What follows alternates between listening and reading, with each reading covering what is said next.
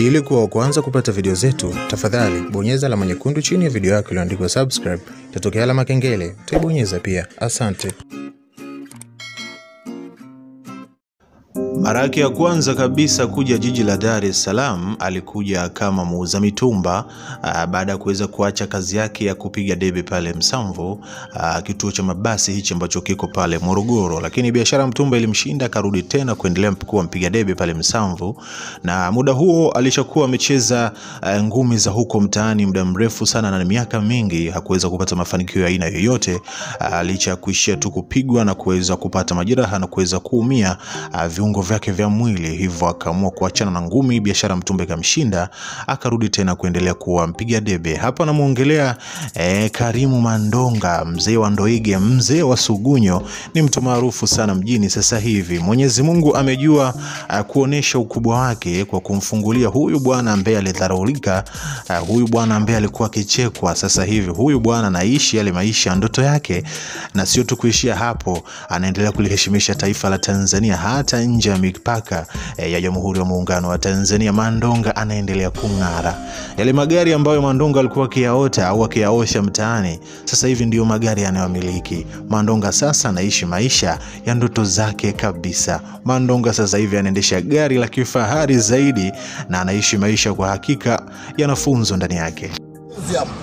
Chagua zawadi unayoitaka wewe, gari aina gani? E bwana, namshukuru Mwenyezi Mungu, gari nilochagua mimi, nimechagua mnyama mmoja wa ajabu, yani ni Subaru Matata new model. Mandoka mtukazi, natembelea gari yani ya kitajiri na ya kifahari. Kuanzia sasa hapa niko showroom na waandishi wa habari, nakabidhiwa gari.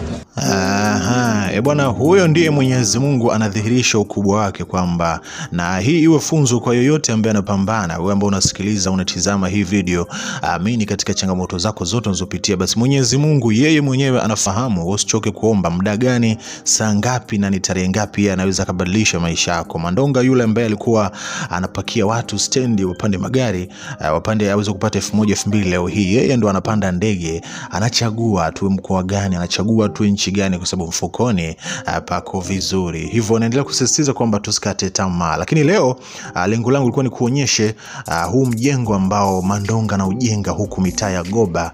Uh, ni bonge bonge moja la nyumba kifahari ambako mwanzoni wakati wanaanza walitukataza kuweza kupiga picha, lakini nyumba ilivyofika hatua za mwishoni huku tumeruhusiwa uh, kuweza kuchukua baadhi ya klipu fupi fupi. Ngasema wadau wa Zaro Media nao wasiweze kukosa kupata hii taarifa uh, kuona mafanikio ya Mandonga, na nisisitize kwamba wewe mtoto wa kiume uh, mara nyingi watoto zetu huwa wanapenda kurithi kazi zetu pindi ambapo wanaona uh, zinasababisha pale nyumbani mambo yanapikwa, mke anacheka, watoto wanafurahi. Hivyo hata mtoto wa Mandonga naye baada ya kuweza kuona mafanikio ya baba yake uh, naye anatamani kuwa bondia. Hebu msikilize kidogo mtoto wa Karim Mandonga anavyosema. Napenda ngumi, nataka nije kuwa kama yeye Mazoezi unafanyia wapi sasa?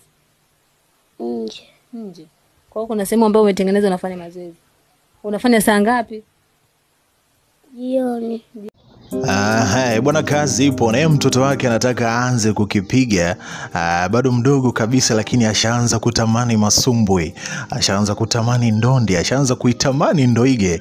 Ah, sijajua mtoto wake atakuja na ndoige Sugunyo ama atakuja na nini mjini. Basi tusubiri tuone, lakini niendelee kusisitiza kwamba video hii ni nimeileta kwako kwa lengo moja tu, kukuonesha mafanikio ya Mandonga na kukutia moyo kwamba wewe mwenyewe kila kitu kinawezekana, wala usikate tamaa, na kama unaamini kwamba maisha yako yatabadilika kwa uwezo wa Mwenyezi Mungu, hebu bonyeza like hapo chini kwenye hii video uh, tuendelee kwenda pamoja. Sasa hapa nataka nikuonyeshe uh, mjengo sasa wa Mandonga uh, kaa vizuri uweze kutizama, alafu wewe mwenyewe utaandika hapo chini unakadiria huo mjengo unaweza ukakosti uh, milioni ngapi? Hebu tizama, alafu andika comment yako hapo chini. Je, uh, unaweza ukakosti mamilioni mangapi hapo chini? Hebu tizama, alafu tutarudi tena.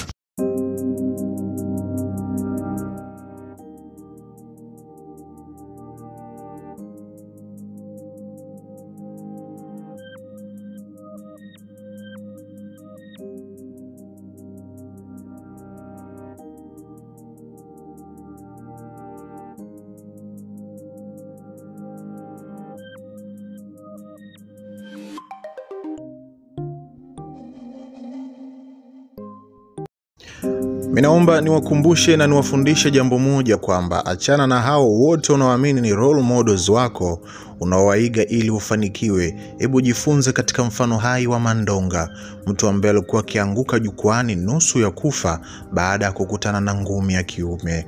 Watu wengi walitamani Mandonga aache ngumi kwa sababu ipo siku anaweza akafia ulingoni, lakini Mandonga alijaribu kunyanyuka, miguu haina nguvu na kujikuta anarudi tena chini huku jamii ikiendelea kumcheka Mandonga akivimba, lakini Mandonga aliamini ipo siku hatatimiza ndoto zake. Mandonga aliendelea na mazoezi, Mandonga aliendelea kupambana. Leo hii Mandonga akipanda jukwani anaibuka shujaa.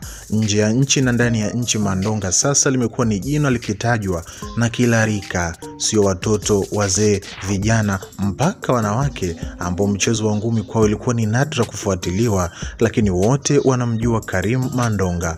Mandonga anaendesha gari zaidi ya moja, anaendesha gari za ndoto yake. Sio tu gari, tumeshashuhudia Mandonga sasa ametimiza kujenga ule mjengo wa ndoto zake. Hivyo familia yake, yeye, mtoto wake na mkewe, huenda hata na wazazi wake tayari wanafaidi matunda ya yeye Mandonga kuto kusikiliza kelele za watu, kuto kukatishwa tamaa kuongeza juhudi na kufanya kile kitu anachokiamini. Mimi na maombi yangu na maono yangu ni kwamba embu tuige mfano hai kutoka kwa Mandonga. Huenda unapambana katika biashara, unapambana katika elimu, huenda uko mahala unafanya kazi ngumu, basi amini ya kuwa ipo zamu yako. Usikate tamaa na wala usisikilize maneno ya majirani ama maneno ya watu hao, lengo lao ni kukurudisha nyuma. Wewe endelea kumwiga Mandonga, endelea kupambana bila kukata tamaa. Sina mengi ya kusema, natoa heshima kwenye taifa langu la Tanzania, nikiheshimisha bendera yetu ya Tanzania. Asante sana. Mandonga mtukazi ni amekubali na yeye amehakiki kwa wakati huu. Hivi sasa hivi Dar es Salaam mjini, nyumba fasta wamempambania Mandonga chap na amepata mjengo wake bila matatizo aina yoyote. Kwa hiyo usikae mbali utakosa nyumba E bwana, kutokea dakika ya kwanza naanza kukusimulia maisha ya Mandonga. Hebu niandikie hapo chini kwenye comment, ni kipi umekipenda au kipi unaweza kumshauri Mandonga au kipi unaweza kuishauri jamii kupitia maisha ya Mandonga. Hebu andika hapo chini, lakini pia nisisitize kwamba usisahau kubonyeza alama ya like, yani kwamba kuonesha umeweza ku appreciate uh, kazi aliyofanya Mandonga, umeweza ku appreciate kwamba hii video inaweza ikafaa kama mfano bora kuweza kuelekeza jamii katika namna moja ama nyingine. Hivyo bonyeza hapo sehemu ambapo imeandikwa like unabonyeza mara moja, pia sehemu ya subscribe unabonyeza mara moja. Uh, lakini pia uandike maoni yako kuhusiana na maisha Mandonga uh, kama fundisho katika jamii yetu ya sasa. That's all about done. Sina mengi ya kusema, natoa heshima kwenye taifa langu la Tanzania, nikiheshimisha bendera yetu ya Tanzania. Asante sana. Ili kuwa wa kwanza kupata video zetu, tafadhali bonyeza alama nyekundu chini ya video yako iliyoandikwa subscribe. Itatokea alama kengele, utaibonyeza pia. Asante.